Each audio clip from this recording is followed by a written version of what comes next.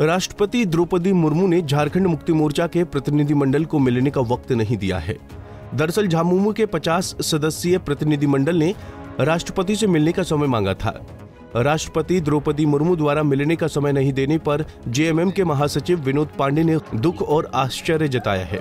उन्होंने कहा कि राष्ट्रपति भवन से हमें सूचना दी गई कि समय की कमी की वजह से प्रतिनिधिमंडल से मिलना संभव नहीं है। साथियों जैसा कि आप लोग जानते हैं कि पार्टी के तरफ़ से राष्ट्रपति महोदया को हम लोगों ने पत्र भेजा था और पत्र के माध्यम से उनसे मिलने का समय गठबंधन के लोगों के लिए मांगा गया था, जिसमें सांसद, विधायक और पार्टी के पदाधिकारी उस प्रतिनिधि मंडल में शामिल होते। चार तारीख को ये पत्र हम लोगों के द्वारा भेजा गया था और चार तारीख के बाद जो सूचना हम लोगों को प्राप्त हुई है राष्ट्रपति भवन से वो बहुत आश्चर्यजनक है और दुर्भाग्यपूर्ण भी है। इस राज्य के लोगों के लिए, झारखंड मुक्ति मोर्चा के लिए और गठबंधन के लिए। राष्ट्रपति महोदया के यहाँ से हम लोगों को सूचना दी गई कि समय अभाव के कारण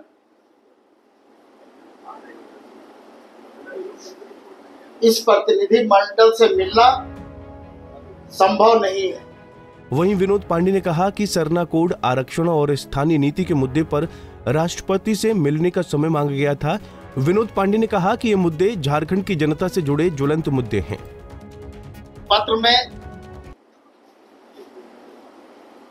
इस राज्य और पूरे देश का जो ज्वलंत मुद्दा है,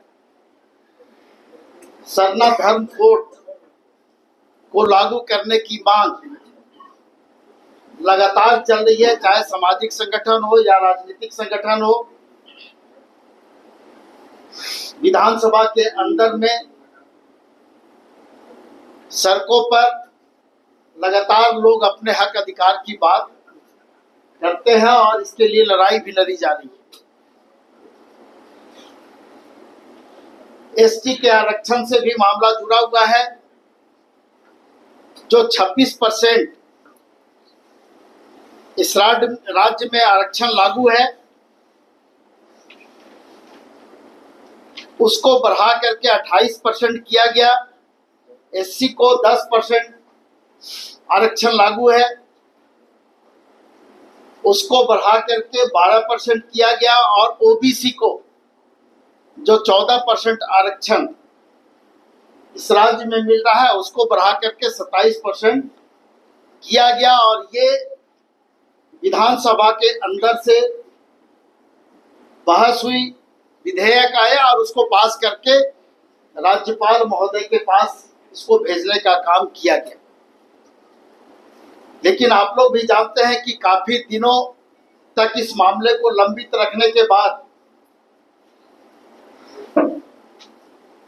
राज्यपाल महोदय के तरफ़ से जो टिप्पणी आई वो भी टिप्पणी इस राज्य के लोगों के भावना के बिल्कुल विपरीत थी। राष्ट्रपति द्रौपदी मुर्मू से समय नहीं मिलने से झामुमो को बड़ा झटका लगा है। अब झामुमो इन मुद्दों पर मोदी सरकार पर हमला बोलेगी और बीजेपी के खिलाफ झारखंड में एक बड़ा अभियान चलाएगी। पंजाब केसरी टीवी के लिए रांची से आशुतोष सिन्हा की रिपोर्ट। हमसे जुड़े रहने के लिए हमारे YouTube चैनल को सब्सक्राइब करें और नई वीडियो की नोटिफिकेशन के लिए बेल आइकॉन को दबाएँ।